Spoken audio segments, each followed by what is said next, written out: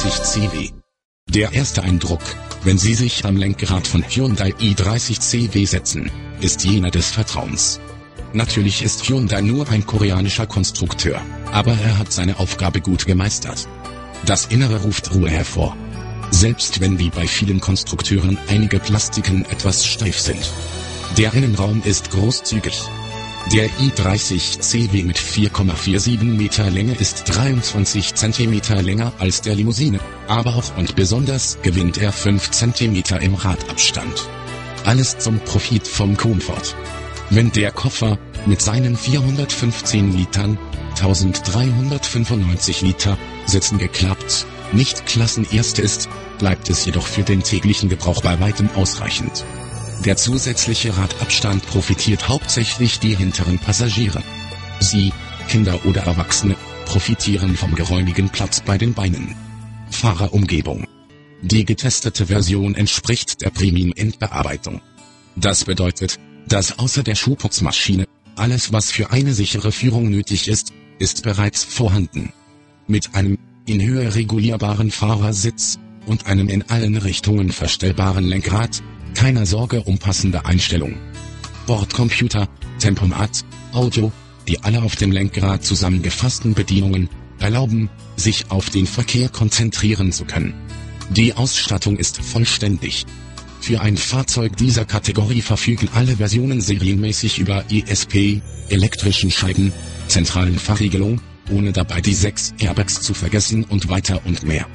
Das i30 CW wird in vier Endbearbeitung und fünf Motorisierungen angeboten. Drei Benziner und zwei Diesel. Das Fahrzeug, das wir getestet haben, wird von einem 2 Litern CRDI-Diesel angetrieben. Dieser Diesel wird natürlich mit einem Partikelfilter ausgestattet. Er entwickelt 140 PS und bietet 304 Newtonmeter.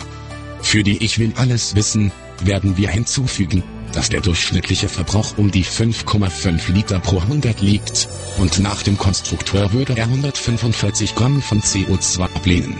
Die Höchstgeschwindigkeit liegt bei etwas mehr als 200 Kilometer pro Stunde. Bilanz gute Überraschung dieses i30 CW. Für einen Erwerbspreis, der zwischen 19.900 und 35.890 Schweizer Franken liegt, erhalten Sie ein vollständiges Fahrzeug. Sicherheit, Komfort und Bewohnbarkeit. Das Fahrgefühl ist angenehm. Der 140 PS Dieselmotor, selbst wenn er nicht immer ein Diskretionsmuster ist, beim Beschleunigen zum Beispiel, fordert diesen kleinen Break auf dynamischer und sicherer Art und Weise.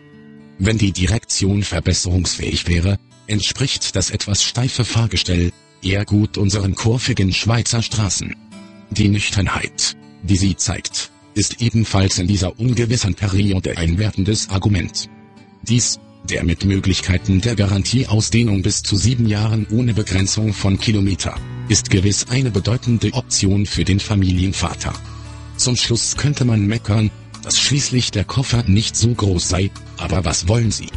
Passagiere mit den Knien unter dem Kinn und einen großen, zur Hälfte leeren Koffer, oder wollen Sie eher von einem komfortablen bewohnbaren Volumen und einem gut gefüllten Koffer profitieren? Die Wahl steht bei Ihnen. Jean-Louis Vidal, autotop.ch, 2009